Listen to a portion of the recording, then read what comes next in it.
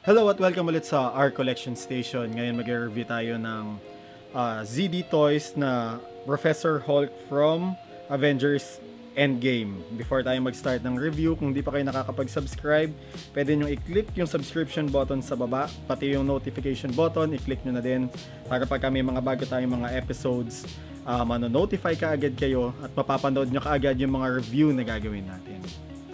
So, ngayon, i-check na natin yung box nung Professor Hulk ng ZD Toys. So, window box ulit siya. Dito sa side na to, makikita natin yung yung actual na figure, tapos may dalawa siya na kasama na accessories na kamay. Tapos dito din yung picture ni Professor Hulk, maganda yung artwork nila, Avengers Endgame, yung Avengers na logo. Dito sa likod, yung mga characters ng Avengers. Maganda yung pagkakagawa nila dyan.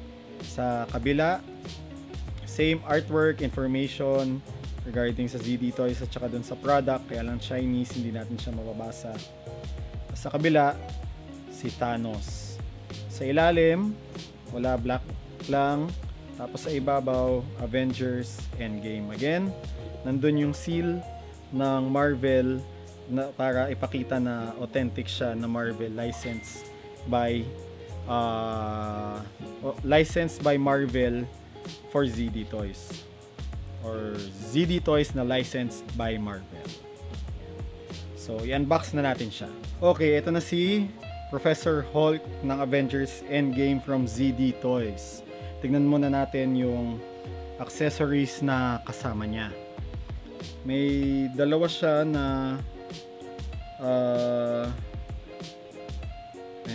accessories niya. Yan. Open palm na kamay pati yung sa kabila. Ngayon, check natin yung figure. So, ito si Hulk. O si Professor Hulk. Oops. So, dun sa endgame, ito yung suot ni Professor Hulk.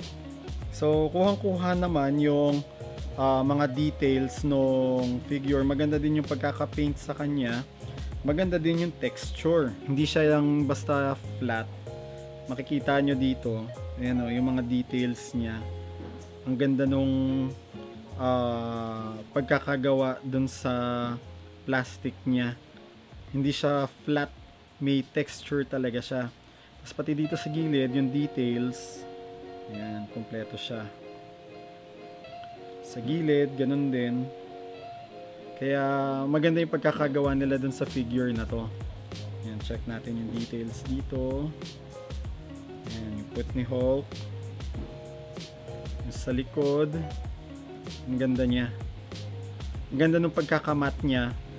Uh, pantay yung kulay na pagkakagawa sa kanya. Tapos sa mukha naman, sa mukha, kamukha din niya yung sa Hulk na yung itsura ni Hulk doon sa movie. Hawig din siya nung nandun sa movie. Kayo, i-rate nyo kung kamukha ba o hindi. Comment kayo sa baba kung okay siya. Check natin yung articulation niya. So sa articulation niya, ito, left and right. Hindi siya nakakatingala, hindi siya nakakatungo. So left and right lang. Tapos yung shoulders niya, pwede nyong iikot ng 360. Tapos pwede nyong iangat hanggang dyan yung elbows, double jointed siya. Ayan, double jointed. Tapos may wrist movement, ikot lang. Same lang din dito sa kabila. Wala pa ding waist na movement. Meron lang yung sa torso, kaya lang yan, ganyan lang yung movement niya. Pero okay lang naman. Tapos dito, ah, pwede nyong iangat hanggang dyan. Ayan, hanggang dyan pwede nyo siyang iangat. Tapos, yung knees niya, double jointed din. Kaya, malayo yung range niya. Sa ankle, pwede nyo siyang ikot. Medyo na pipivot niya ng konti. Kaya, same lang din siya dun sa uh, movement ng iba pang mga ZD toys. check natin yung height ni Hulk. So si Hulk ay nasa 8 inches yung height niya. Mataas-taas din siya. I-compare natin siya doon sa ibang ZD toys. Tabi natin siya kay Thanos. So halos magka-same height sila ni Thanos from ZD Toys. Compare din natin siya kay uh, Iron Man. Kaya kita natin yung height difference nila. Maganda yung height difference nila. Pagka pinagtabi-tabi nyo sila, maganda yung uh, accuracy nila. Kasi iba-iba yung height. Yung, yung malaki talaga malaki, yung mga maliliit, maliit din talaga. Ngayon, i-check natin yung ibang accessories niya. Subukan nating ikabit ito, yung kamay. Sa kabila.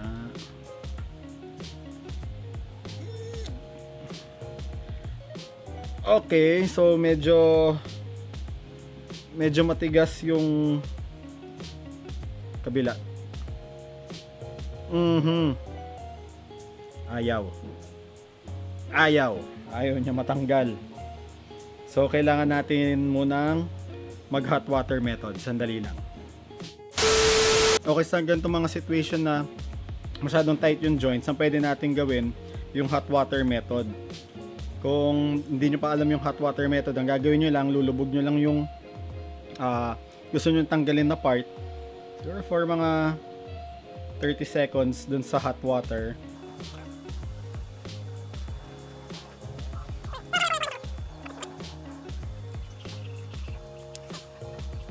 So, napop na natin.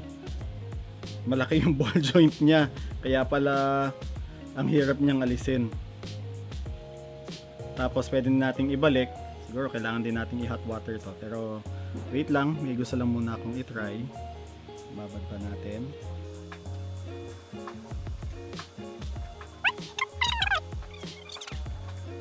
Okay, so ngayon ito try naman natin na ikabit yung uh, gauntlet ni So, hindi natin puputulin na iaangat lang natin siya.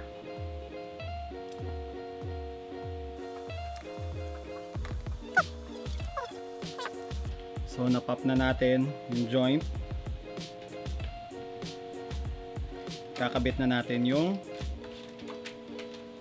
Okay, check naman natin kung pwede nating ikabit yung uh, nano gauntlet dun sa Mark 85 na Hasbro para makuha natin yung movie accuracy nung o movie accurate na Professor Hulk nung sinuot niya yung uh, glove.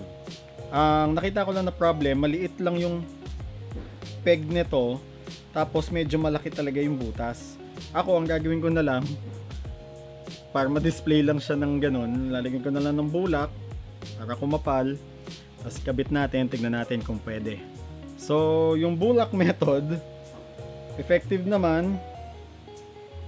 May nano gauntlet na si may nano gauntlet na si Hulk. Isa snap na lang niya. So kung gusto nyo na nakapost si Thor o oh, si Thor si Hulk nang suot yung nano gauntlet dun sa Mark 85 na uh, Hasbro, pwede nyong magawa kung meron kayo nito. Tapos diskarte na lang, kayo na lang yung bahalang dumiskarte kung paano nyo mailalagay doon yung peg na yon. Okay? So, check natin. So, yung ibang accessories, ganun lang din. Sa kabila, medyo matigas. Ang gagawin nyo na lang din, hindi ko na siya gagawin, hindi ko na siya ano, dahil tigas eh hirap ikabit. So, kayo na lang bahala kung papaltan nyo yung kamay niya. Basta ang pwede nyo gawin nga yung hot water method para lumambot yung rubber niya o yung plastic. Tapos matanggal nyo, maipop nyo yung uh, kamay. Tapos mapaltan nyo yung kamay na gagamitin. Okay, so nakita natin ngayon yung review ng uh, Professor Hulk o Hulk ng Avengers Endgame from ZD Toys. So, sana nag-enjoy kayo sa review na to at nakatulong din to sa inyo kung uh, kukuha kayo ng ganito mga figure. Para sa akin, uh, maganda siya. Pwede nyo siyang ihalo dun sa mga Marvel Legends nyo. Kasi sa scale naman, okay din naman dahil malaki din naman talaga si Hulk.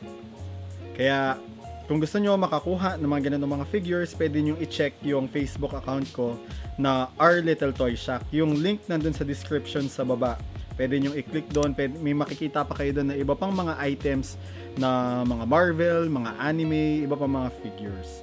Tapos ulit, kung hindi pa kayo nakapag-subscribe sa channel na to, pwede nyong i-click yung uh, subscription button sa baba i-click nyo na din yung notification button para pag may mga bago tayong episode, uh, manonotify kayo agad kayo, tapos makikita nyo yung mga toys na i-review natin. So again, thank you for watching and see you next episode.